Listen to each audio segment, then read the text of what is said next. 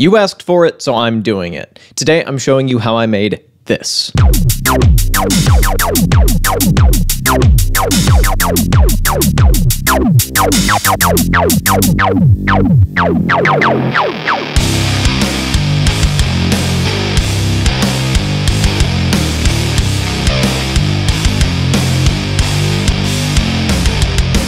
What's up and welcome back to Gabe Miller Music. Today I'm walking you through how I made some acid techno metal, partially on the Korg Electribe 2 and partially using VSTs in my DAW of choice, Reaper. I'm going to walk you through both aspects of the production, so without any further introduction, let's jump into it. Starting off with the Electribe.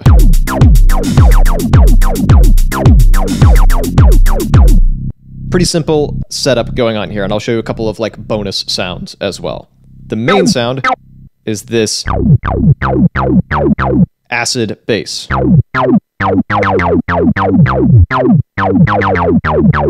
The oscillator is a sync saw. Let me lift the filter.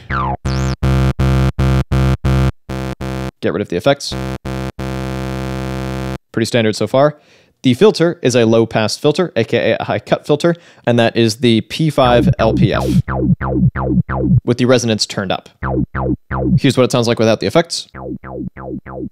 And then here is the effect, which is the distortion. Without, with. It's a bit louder, but I really like the grit that it adds to this sound. It really brings it to life. Up next,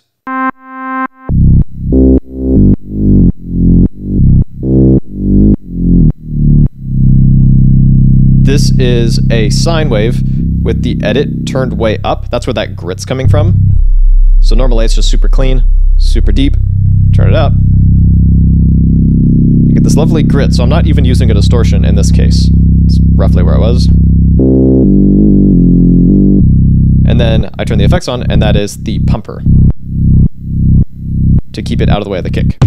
It's not actually synced to the kick, it's just synced to a four on the floor pattern. This kick is harder. And I've got the punch effect on it to bring out that transient. This hi-hat is a 909, as is the open hi-hat. That low end is probably a bit much, but I can tame it in post later on. So yeah, the biggest thing is just the acid bass created by absolutely cranking the resonance on the filter and having that filter sweep just go downwards every note. That separated gritty sub bass and then just an absolute unit of a kick drum. I should also mention some kind of rejected elements that are just kind of fun. This is created using the repeater. And I have an LFO moving the edit of this sync saw. And this is a straight up saw with a lot of glide and um,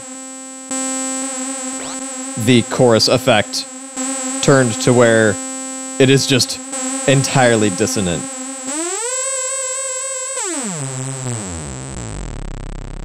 Which is kind of fun. I didn't use it here, but I wanted to at least show it to you as a fun techno element. Jumping into the DAW next, I've done some very light processing on the Electribe portion.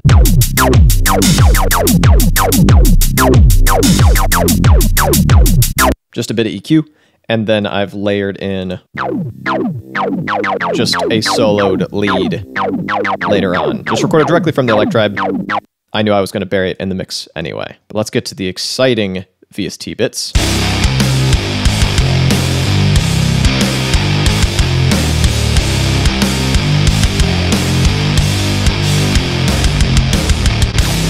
Starting with the guitar.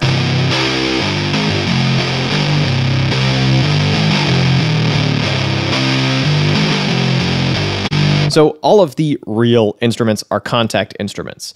This is Shreddage 2, which I've used for most of the metal stuff that I've done. I'm not much of a guitar player and I don't own a guitar, so I have to make do with this. It sounds pretty good.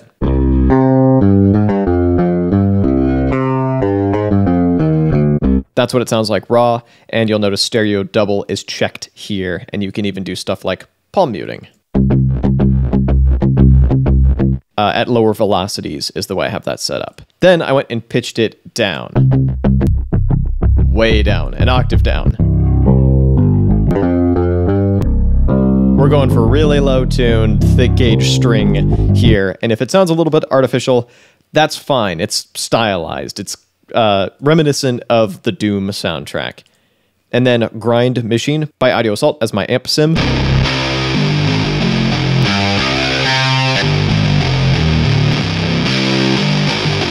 And then I'm cutting some lows to make room for the bass guitar. And then I've got this layer that kicks in halfway through, which is simply not pitched down, so it's an octave up. With some different amp sim settings. Up next, the bass.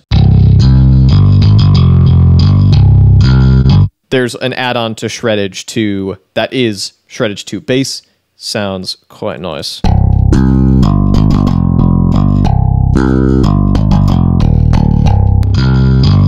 I'm running that through Grind Machine as well on the preset Bassmaster. Then a little bit of EQ. So altogether, just this wall of guitarage.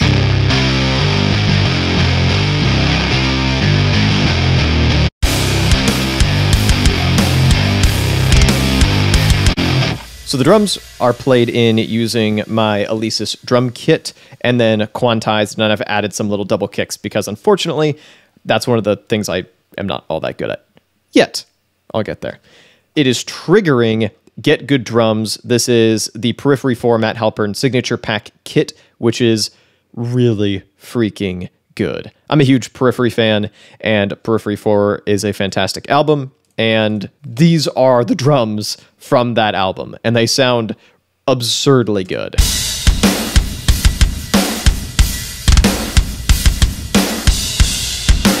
I've also mapped cymbals around a bit so I could get some splash cymbals in there, some China cymbals in there. These are fairly artificial in the way that they are programmed quite a few steps removed from playing it live, but damn, this drum virtual instrument sounds good. I've got turbo turned up on pretty much everything, and I've made some adjustments to cymbals, their panning and volumes, all that kind of stuff. And just for reference, I am using the Bronze Custom snare. In this case, if you wanted to go for a different vibe,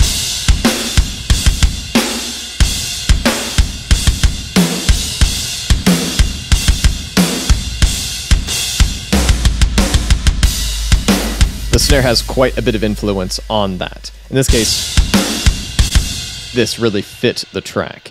And then I've got a bit of compression.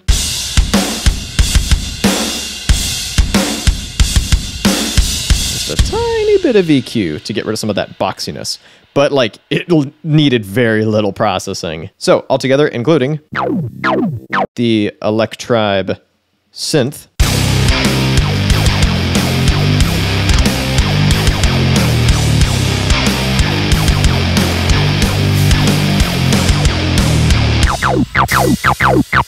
what is hopefully a fairly convincing take on metalcore, albeit fairly artificial and electronic.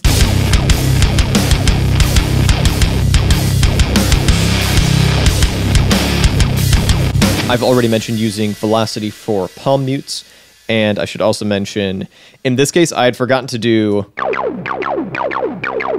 that little half step move up on the Electribe, and so I just faked it because I knew I was going to bury it in the mix with a really basic uh, Serum patch modified from a preset. Once again, resonance cranked. Bit of distortion. That's just in there very subtly. And then I've had some fun with uh, pitch bends.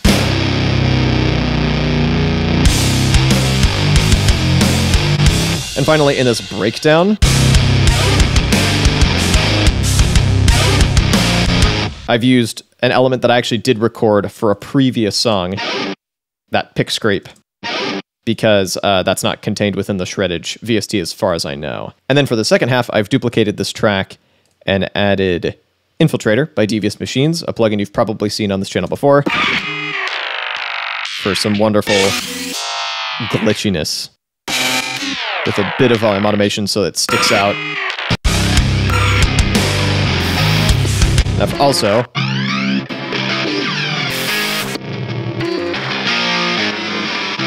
got a duplicate guitar track with some glitches on it as well. But now, with all this instrumental stuff being shown, let's jump into the vocal mix. Igor, the vocalist, gave me a ton of stuff to work with, so here's just a quick sample of the raw vocals, double tracked, panned hard left and right, as you can see here.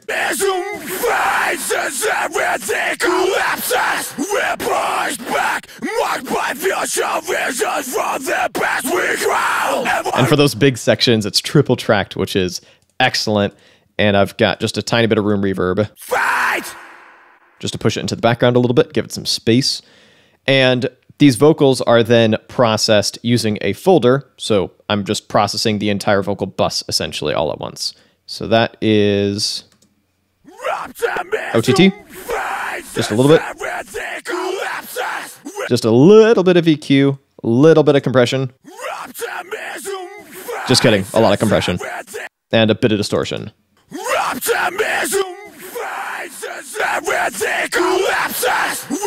Just really push the aggression of these vocals. And I'm really happy with how this turned out. And then finally, uh, for the breakdown, I've once again added Infiltrator. So that sounds like this. Which is just awesome. And then a an even more intense layer. So these together. Where everything just breaks down into complete chaos. If you'd like to see the full song, you can click or tap up over here. And if you'd like to see some more Electribe or some more metal, you can click or tap over here somewhere. Thank you so much for watching, and I'll be back with a new video in a little bit.